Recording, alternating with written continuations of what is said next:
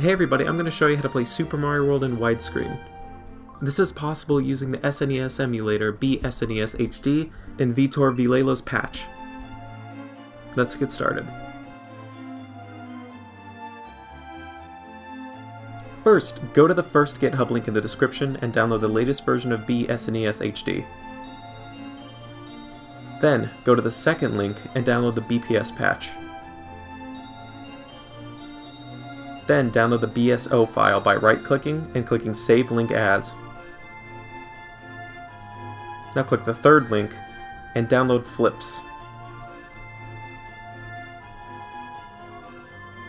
Go to your Downloads folder and throw everything on your desktop.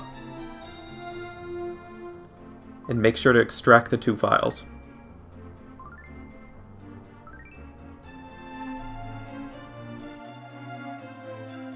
Now you should have BSNES floating, the widescreen patch, and your Super Mario World ROM file. Open up floating and open up flips.exe. Click Apply Patch, and click Super Mario Widescreen BPS. Then click your ROM file. After that, click Save. Click OK, and you now have your patched ROM. Make a games folder. I'm just going to make it on my desktop for simplicity's sake.